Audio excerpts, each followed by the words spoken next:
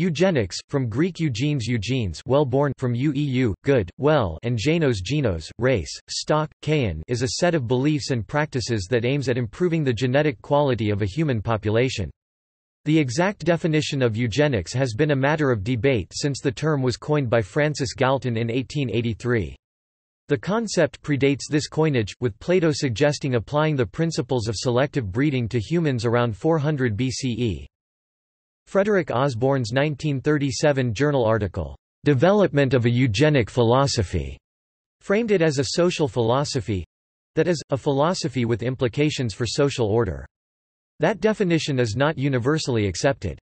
Osborn advocated for higher rates of sexual reproduction among people with desired traits positive eugenics, or reduced rates of sexual reproduction and sterilization of people with less desired or undesired traits negative eugenics.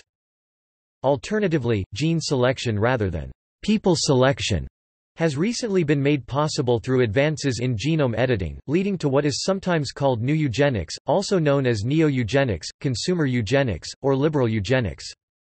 While eugenic principles have been practiced as far back in world history as ancient Greece, the modern history of eugenics began in the early 20th century when a popular eugenics movement emerged in the United Kingdom and spread to many countries including the United States, Canada and most European countries. In this period, eugenic ideas were espoused across the political spectrum. Consequently, many countries adopted eugenic policies with the intent to improve the quality of their population's genetic stock. Such programs included both positive measures, such as encouraging individuals deemed particularly fit to reproduce, and negative measures such as marriage prohibitions and forced sterilization of people deemed unfit for reproduction. People deemed unfit to reproduce often included people with mental or physical disabilities, people who scored in the low ranges of different IQ tests, criminals and deviants, and members of disfavored minority groups. The eugenics movement became negatively associated with Nazi Germany and the Holocaust when many of the defendants at the Nuremberg trials attempted to justify their human rights abuses by claiming there was little difference between the Nazi eugenics programs and the U.S. eugenics programs. In the decades following World War II, with the institution of human rights, many countries gradually began to abandon eugenics policies, although some Western countries, among them the United States and Sweden, continued to carry out forced sterilizations. Since the 1980s and 1990s, when new assisted reproductive technology procedures became available such as gestational surrogacy available since 1985, preimplantation genetic diagnosis available since 1989, and cytoplasmic transfer first performed in 1996, fear has emerged about a possible revival of eugenics. A major criticism of eugenics policies is that, regardless of whether negative or positive Policies are used, they are susceptible to abuse because the criteria of selection are determined by whichever group is in political power at the time. Furthermore, negative eugenics in particular is considered by many to be a violation of basic human rights, which include the right to reproduction. Another criticism is that eugenic policies eventually lead to a loss of genetic diversity, resulting in inbreeding depression due to lower genetic variation. History Origin and development The concept of positive eugenics to produce better human beings has existed at least since Plato suggested selective mating to produce a guardian class. In Sparta, every Spartan child was inspected by the Council of Elders, the Gerousia, which determined if the child was fit to live or not. In the early years of ancient Rome, a Roman father was obliged by law to immediately kill his child if they were physically disabled. Among the ancient Germanic tribes, people who were cowardly, unwarlike or stained with abominable vices were put to death, usually by being drowned in swamps. The first formal negative eugenics, that is a legal provision against birth of inferior human beings, was promulgated in Western European culture by the Christian Council of Agde in 506, which forbade marriage between cousins. This idea was also promoted by William Goodell (1829–1894), who advocated the castration and spaying of the insane. The idea of a modern project of improving the human population through a statistical understanding of heredity heredity used to encourage good breeding was originally developed by Francis Galton and, initially, was closely linked to Darwinism and his theory of natural selection. Galton had read his half-cousin Charles Darwin's theory of evolution, which sought to explain the development of plant and animal species, and desired to apply it to humans. Based on his biographical studies, Galton believed that desirable human qualities were hereditary traits, though Darwin strongly disagreed with this elaboration of his theory. In 1883, one year after Darwin's death, Galton gave his research a name, eugenics. With the introduction of genetics, eugenics became associated with genetic determinism, the belief that human character is entirely or in the majority caused by genes, unaffected by education or living conditions. Many of the early geneticists were not Darwinians, and evolution theory was not needed for eugenics policies based on genetic determinism. Throughout its recent history, eugenics has remained controversial. Eugenics became an academic discipline at many colleges and universities and received funding from many sources. Organizations were formed to win public support and sway opinion towards responsible eugenic values in parenthood, including the British Eugenics Education Society of 1907 and the American Eugenics Society of 1921. Both sought support from leading clergymen and modified their message to meet religious ideals. In 1909 the Anglican clergymen William Inge and James Peel both wrote for the British Eugenics Education Society. Inge was an invited speaker at the 1921 International Eugenics Conference, which was also endorsed by the Roman Catholic Archbishop of New York Patrick Joseph Hayes. Three international eugenics conferences presented a global venue for eugenists with meetings in 1912 in London, and in 1921 and 1932 in New York City. Eugenic policies were first implemented in the early 1900s in the United States. It also took root in France, Germany, and Great Britain. Later, in the 1920s and 1930s, the eugenic policy of sterilizing certain mental patients was implemented in other countries including Belgium, Brazil, Canada, Japan and Sweden. In addition to being practiced in a number of countries, eugenics was internationally organized through the International Federation of Eugenics Organizations. Its scientific aspects were carried on through research bodies such as the Kaiser Wilhelm Institute of Anthropology, Human Heredity, and Eugenics, the Cold Spring Harbor Carnegie Institution for Experimental Evolution, and the Eugenics Record Office. Politically, the movement advocated measures such as sterilization laws. In its moral dimension, eugenics rejected the doctrine that all human beings are born equal and redefined moral worth purely in terms of genetic fitness. Its racist elements included pursuit of a pure Nordic race or Aryan genetic pool and the eventual elimination of unfit races. Early critics of the philosophy of eugenics included the American sociologist Lester Frank Ward, the English writer G. K. Chesterton, the German-American anthropologist Franz Boas, who argued that advocates of eugenics greatly overestimate the influence of biology, and Scottish tuberculosis pioneer and author Halliday Sutherland. Ward's 1913 article, Eugenics, Euthenics, and Eudemics Chesterton's 1917 book Eugenics and Other Evils, and Boas' 1916 article, Eugenics, published in the Scientific Monthly were all harshly critical of the rapidly growing movement. Sutherland identified eugenists as a major obstacle to the eradication and cure of tuberculosis in his 1917 address, "'Consumption, Its Cause and Cure' and criticism of eugenists and neo-Malthusians in his 1921 book Birth Control led to a writ for libel from the eugenist Marie Stopes. Several biologists were also antagonistic to the eugenics movement, including Lancelot Hogben. Other biologists such as J. B. S. Haldane and R. A. Fisher expressed skepticism in the belief that sterilization of defectives would lead to the disappearance of undesirable genetic traits. Among institutions, the Catholic Church was an opponent of state enforced sterilizations. Attempts by the Eugenics Education Society to persuade the British government to legalise voluntary sterilisation were opposed by Catholics and by the Labour Party. The American Eugenics Society initially gained some Catholic supporters, but Catholic support declined following the 1930 papal encyclical Casti Connubii. In this, Pope Pius XI explicitly condemned sterilization laws. Public magistrates have no direct power over the bodies of their subjects, therefore, where no crime has taken place and there is no cause present for grave punishment, they can never directly harm, or tamper with the integrity of the body, either for the reasons of eugenics or for any other reason. As a social movement, eugenics reached its greatest popularity in the early decades of the 20th century, when it was practiced around the world and promoted by governments, institutions, and influential individuals. Many countries enacted various eugenics policies, including, genetic screenings, birth control, promoting differential birth rates, marriage restrictions, segregation both racial segregation and sequestering the mentally ill, compulsory sterilization, forced abortions or forced pregnancies, ultimately culminating in genocide. Nazism and the decline of eugenics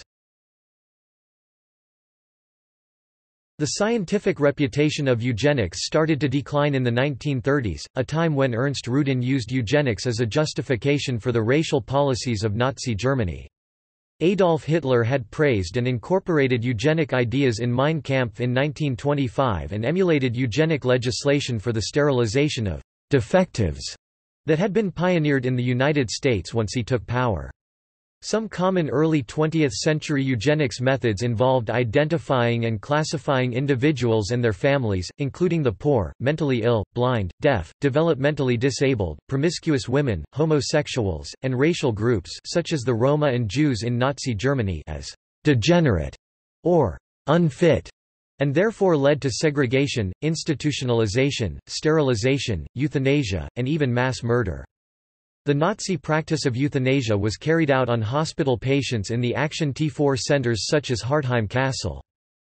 By the end of World War II, many discriminatory eugenics laws were abandoned, having become associated with Nazi Germany. H. G. Wells, who had called for the sterilization of failures in 1904, stated in his 1940 book The Rights of Man, or What Are We Fighting For? That among the human rights, which he believed should be available to all people, was a prohibition on mutilation, sterilization, torture, and any bodily punishment. After World War II, the practice of imposing measures intended to prevent births within a national, ethnical, racial or religious group fell within the definition of the new international crime of genocide, set out in the Convention on the Prevention and Punishment of the Crime of Genocide.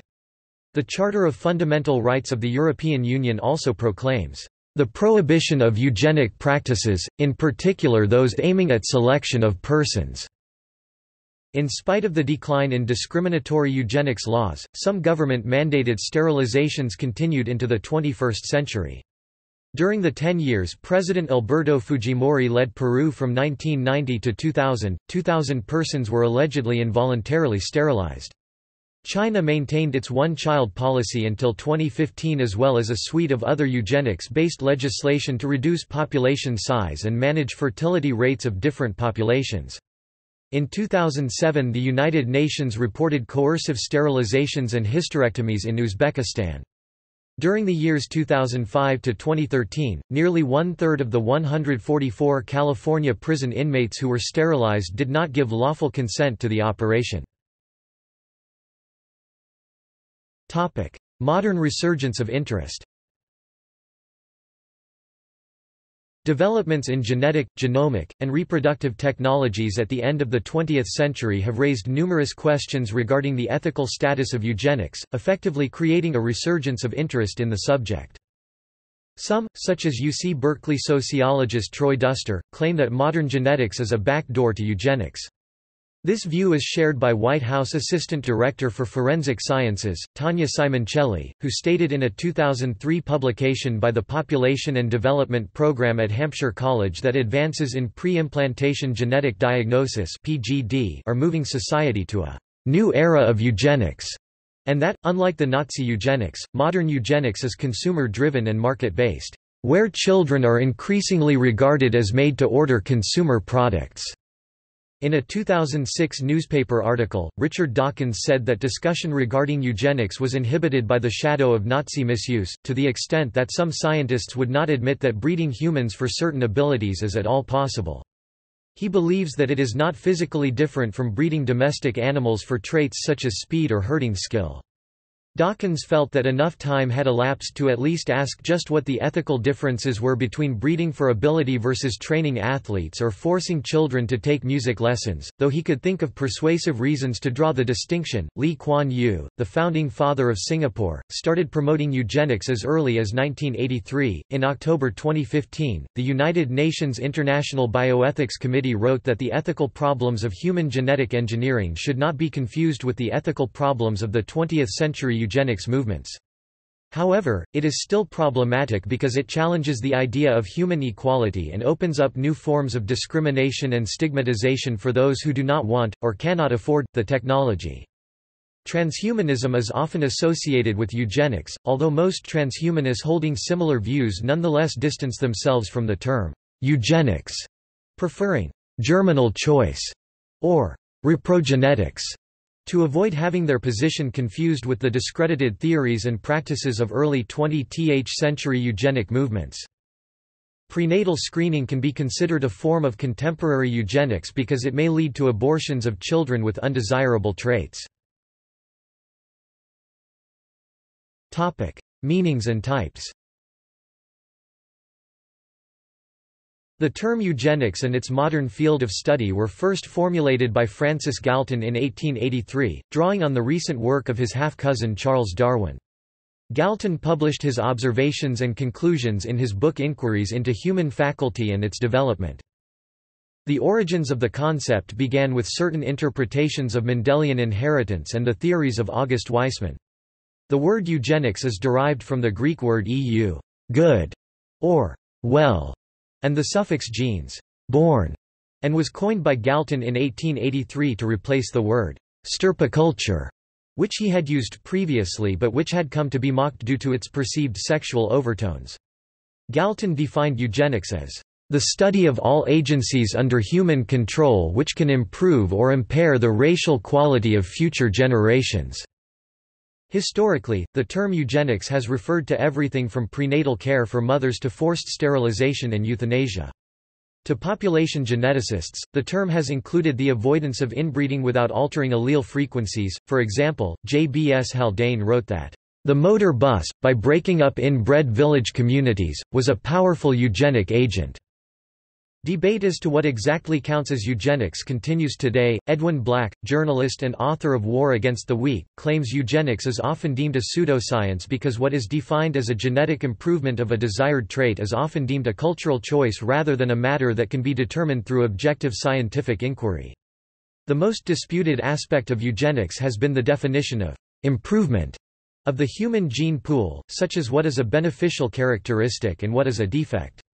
Historically, this aspect of eugenics was tainted with scientific racism and pseudoscience. Early eugenists were mostly concerned with factors of perceived intelligence that often correlated strongly with social class. Some of these early eugenists include Karl Pearson and Walter Weldon, who worked on this at the University College London. Eugenics also had a place in medicine. In his lecture, Darwinism, Medical Progress and Eugenics, Karl Pearson said that everything concerning eugenics fell into the field of medicine. He basically placed the two words as equivalents. He was supported in part by the fact that Francis Galton, the father of eugenics, also had medical training. Eugenic policies have been conceptually divided into two categories. Positive eugenics is aimed at encouraging reproduction among the genetically advantaged, for example, the reproduction of the intelligent, the healthy, and the successful. Possible approaches include financial and political stimuli, targeted demographic analyses, in vitro fertilization, egg transplants, and cloning. The movie Gattaca provides a fictional example of a dystopian society that uses eugenics to decide what you are capable of and your place in the world. Negative eugenics aim to eliminate, through sterilization or segregation, those deemed physically, mentally, or morally undesirable this includes abortions, sterilization, and other methods of family planning. Both positive and negative eugenics can be coercive. Abortion for fit women, for example, was illegal in Nazi Germany. Jon Entine claims that eugenics simply means good genes, and using it as synonym for genocide is an all too common distortion of the social history of genetics policy in the United States. According to Entine, eugenics developed out of the progressive era and not Hitler's twisted final solution Topic: Implementation methods.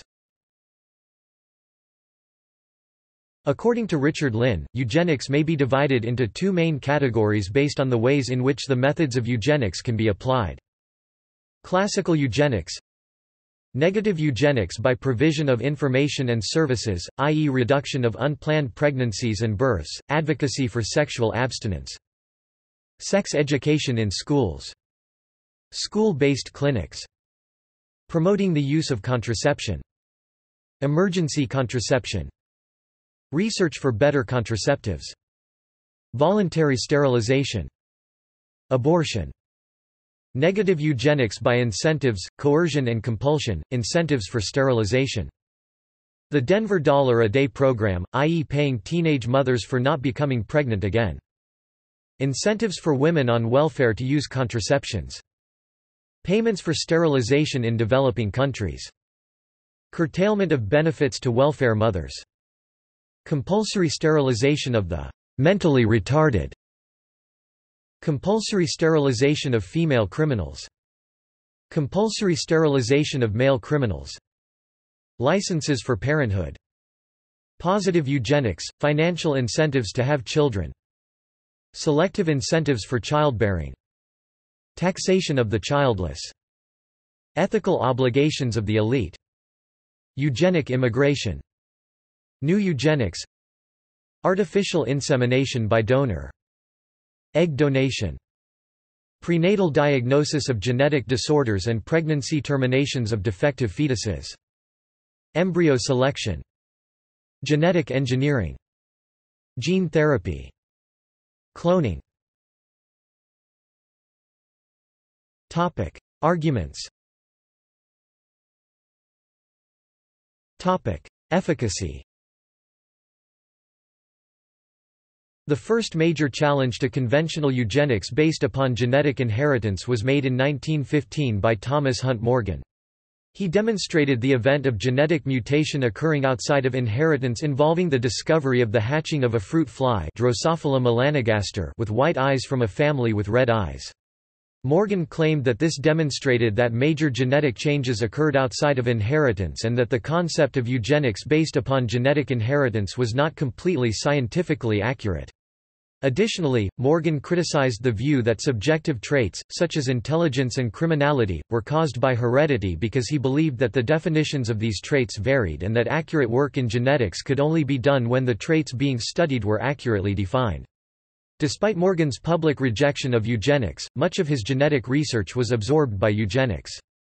The heterozygote test is used for the early detection of recessive hereditary diseases, allowing for couples to determine if they are at risk of passing genetic defects to a future child.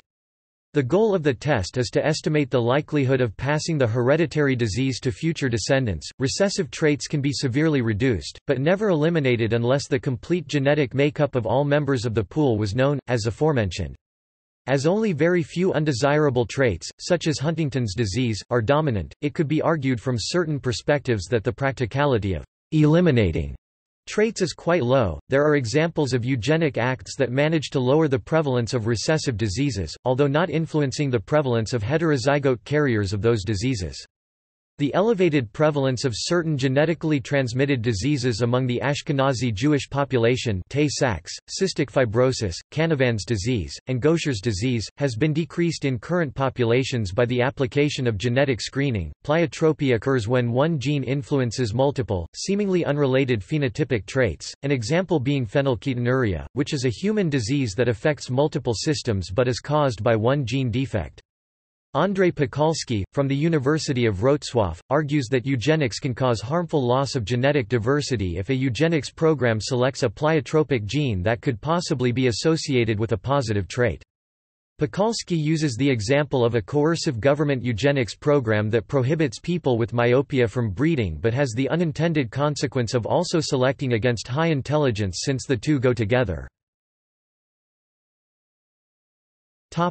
Loss of genetic diversity Eugenic policies could also lead to loss of genetic diversity, in which case a culturally accepted improvement of the gene pool could very likely as evidenced in numerous instances in isolated island populations result in extinction due to increased vulnerability to disease, reduced ability to adapt to environmental change, and other factors both known and unknown. A long-term, species-wide eugenics plan might lead to a scenario similar to this because the elimination of traits deemed undesirable would reduce genetic diversity by definition. Edward M. Miller claims that, in any one generation, any realistic program should make only minor changes in a fraction of the gene pool, giving plenty of time to reverse direction if unintended consequences emerge, reducing the likelihood of the elimination of desirable genes. Miller also argues that any appreciable reduction in diversity is so far in the future that little concern is needed for now. While the science of genetics has increasingly provided means by which certain characteristics and conditions can be identified and understood, given the complexity of human genetics, culture, and psychology, at this point no agreed objective means of determining which traits might be ultimately desirable or undesirable. Some diseases such as sickle cell disease and cystic fibrosis respectively confer immunity to malaria and resistance to cholera when a single copy of the recessive allele is contained within the genotype of the individual. Reducing the instance of sickle cell disease genes in Africa where malaria is a common and deadly disease could indeed have extremely negative net consequences. However, some genetic diseases cause people to consider some elements of eugenics. Ethics Societal and political consequences of eugenics call for a place in the discussion on the ethics behind the eugenics movement. Many of the ethical concerns regarding eugenics arise from its controversial past, prompting a discussion on what place, if any, it should have in the future. Advances in science have changed eugenics. In the past, eugenics had more to do with sterilization and enforced reproduction laws. Now, in the age of a progressively mapped genome, embryos can be tested for susceptibility to disease, gender, and genetic defects, and alternative methods of reproduction such as in vitro fertilization are becoming more common. Therefore, eugenics is no longer ex post facto regulation of the living but instead preemptive action on the unborn. With this change, however, there are ethical concerns which lack adequate attention, and which must be addressed before eugenic policies can be properly implemented in the future. Sterilized individuals, for example, could volunteer for the procedure, albeit under incentive or duress, or at least voice their opinion. The unborn fetus on which these new eugenic procedures are performed cannot speak out, as the fetus lacks the voice to consent or to express his or her opinion. Philosophers disagree about the proper framework for reasoning about such actions, which change the very identity and existence of future persons. Opposition A common criticism of eugenics is that, "...it inevitably leads to measures that are unethical." Some fear future, "...eugenics wars." As the worst-case scenario, the return of coercive state-sponsored genetic discrimination and human rights violations such as compulsory sterilization of persons with genetic defects, the killing of the institutionalized and, specifically, segregation and genocide of races perceived as inferior. Health law professor George Annas and technology law professor Lori Andrews are prominent advocates of the position that the use of these technologies could lead to such human post-human caste warfare. In his 2003 book Enough, Staying Human in an Engineered Age, environmental ethicist Bill McKibben argued at length against germinal choice technology and other advanced biotechnological strategies for human enhancement. He writes that it would be morally wrong for humans to tamper with fundamental aspects of themselves or their children in an attempt to overcome universal human limitations, such as vulnerability to aging, maximum lifespan and biological constraints on physical and cognitive ability. Attempts to improve themselves through such manipulation would remove limitations that provide a necessary context for the experience of meaningful human choice. He claims that human lives would no longer seem meaningful in a world where such limitations could be overcome with technology.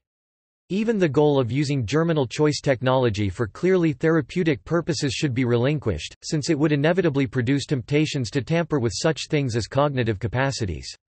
He argues that it is possible for societies to benefit from renouncing particular technologies, using as examples Ming China, Tokugawa Japan and the contemporary Amish. Topic. Endorsement Some, for example Nathaniel C. Comfort from Johns Hopkins University, claim that the change from state-led reproductive genetic decision-making to individual choice has moderated the worst abuses of eugenics by transferring the decision-making from the state to the patient and their family. Comfort suggests that the eugenic impulse drives us to eliminate disease, live longer and healthier, with greater intelligence, and a better adjustment to the conditions of society, and the health benefits, the intellectual thrill and the profits of genetic biomedicine are too great for us to do otherwise. Quote, Others, such as bioethicist Stephen Wilkinson of Keele University and honorary research fellow Eve Garrard at the University of Manchester, claim that some aspects of modern genetics can be classified as eugenics, but that this classification does not inherently make modern genetics immoral. In a co-authored publication by Keele University, they stated that E eugenics doesn't seem always to be immoral, and so the fact that PGD, and other forms of selective reproduction, might sometimes technically be eugenic, isn't sufficient to show that they're wrong. In their book published in 2000, From Chance to Choice, Genetics and Justice, bioethicists Alan Buchanan, Dan Brock, Norman Daniels and Daniel Wikler argued that liberal societies have an obligation to encourage as wide an adoption of eugenic enhancement technologies as possible so long as such policies do not infringe on individuals' reproductive reproductive rights or exert undue pressures on prospective parents to use these technologies in order to maximize public health and minimize the inequalities that may result from both natural genetic endowments and unequal access to genetic enhancements. Original position, a hypothetical situation developed by American philosopher John Rawls, has been used as an argument for negative eugenics. See also References Notes Bibliography Anomaly, Jonathan 2018. Defending Eugenics. Monash Bioethics Review. Buchanan, Alan 2017. Better Than Human, The Promise and Perils of Deliberate Biomedical Enhancement. Oxford University Press. Gyngell, Christopher, Selgelid, Michael 2016. 21st Century Eugenics. Oxford University Press.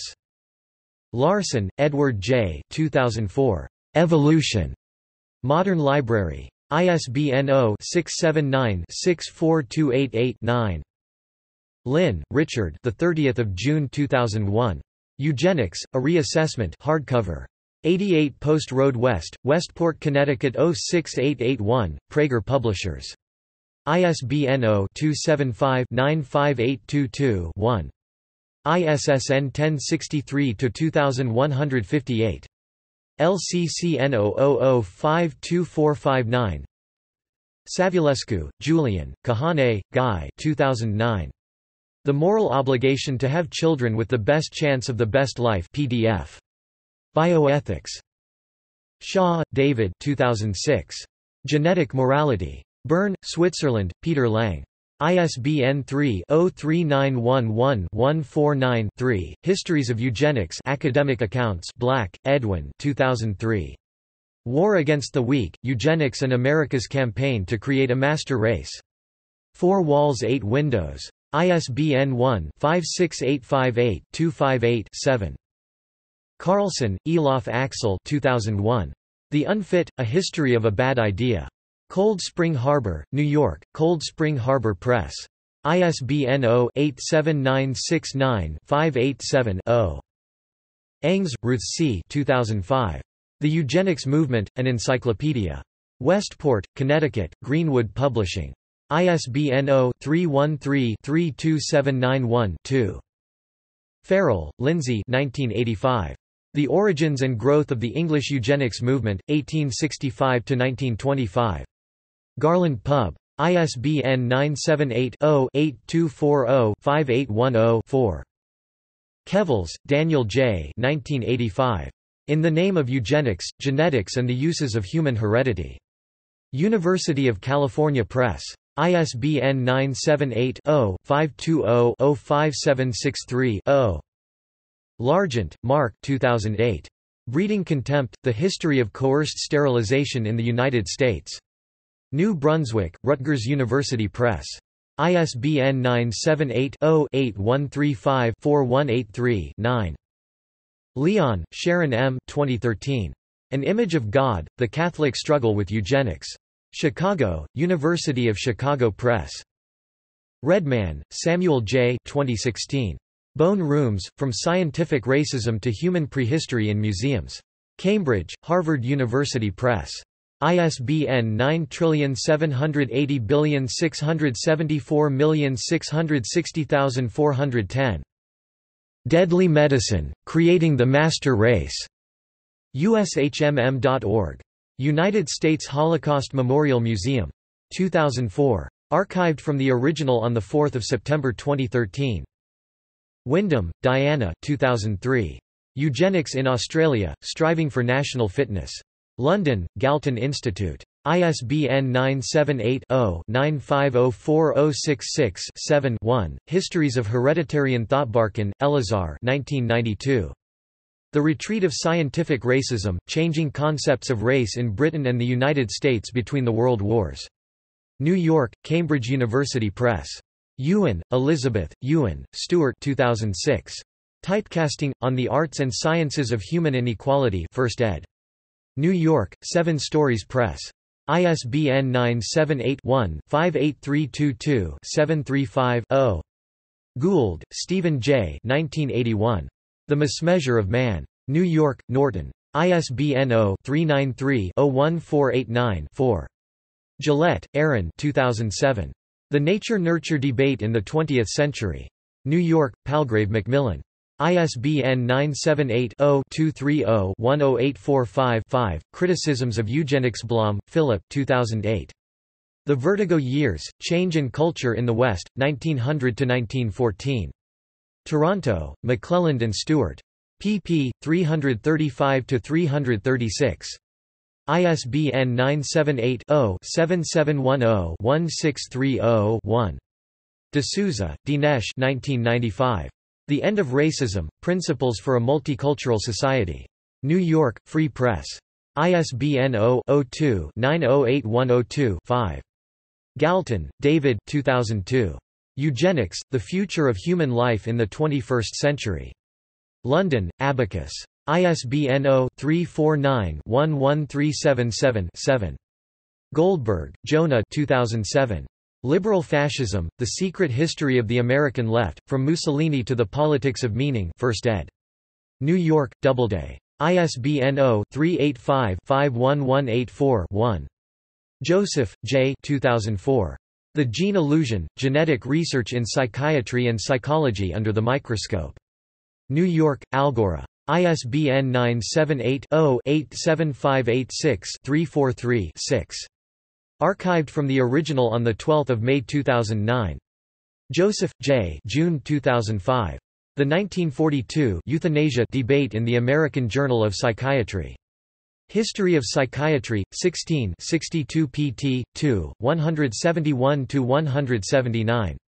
doi, 10.1177-095715-4 extension 05047004. PMID 16013119. Joseph, J. 2006.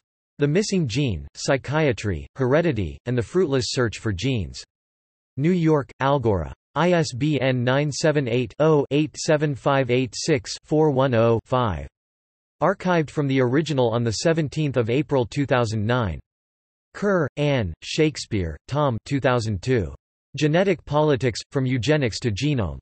Cheltenham, New Clarion. ISBN 978-1-873797-25-9. Maranto, Gina 1996. Quest for Perfection, The Drive to Breed Better Human Beings. New York, Scribner. ISBN 0-684-80029-2. Ordover, Nancy 2003. American Eugenics, Race, Queer Anatomy, and the Science of Nationalism. Minneapolis, University of Minnesota Press.